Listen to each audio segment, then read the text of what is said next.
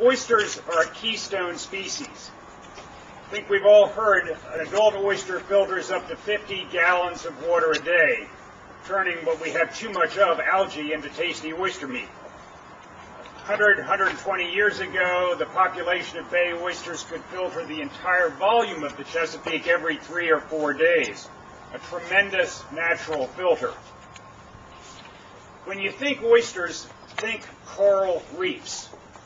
Oysters were literally the infrastructure of the Chesapeake Bay, critical to its legendary productivity, what, which H.L. Mencken called an immense protein factory. And oysters were critical to the region's culture and the economy. They were far more than an far more of an icon than the blue crab, which we assume today is the bay's icon.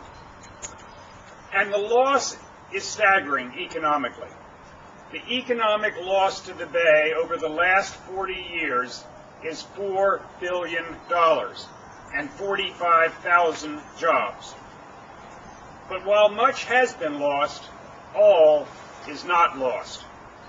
There are signs of a nascent recovery. We issue this report to document the loss, present hope for a brighter future and offer suggestions as to how to get there.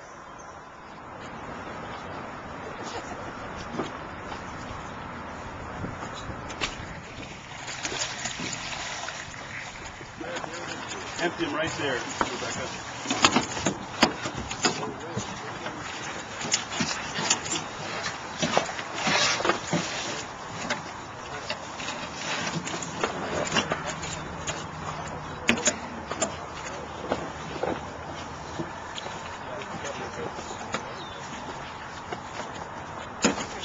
But this is what these big clumps looked like five years ago when we planted them out here onto this sanctuary reef.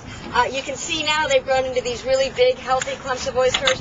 A uh, few dead oysters, but virtually all of them are alive. They are uh, probably an average of four inches or, or, uh, or even more. Uh, and you can also see that other life has started to colonize on these reefs, which I think is a really important demonstration of how not only do these uh, oysters filter the water in the Chesapeake Bay, but they also provide uh, phenomenal habitat for a lot of other species of fish and crabs. And if you look carefully on the deck here, you can see all kinds of worms and mud crabs uh, and some little shrimp kicking around and that kind of thing. They really do provide spectacular habitat. At the end of the day, this event is about advocating for sanctuaries.